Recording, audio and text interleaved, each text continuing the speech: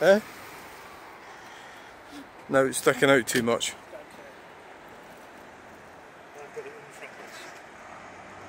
Huh? That was the guy. That's the lorry driver there. It'll take him about, what, half an hour to get to the back of that? I hope they're not going to go now, otherwise we'd be stuck behind a very large traffic jam.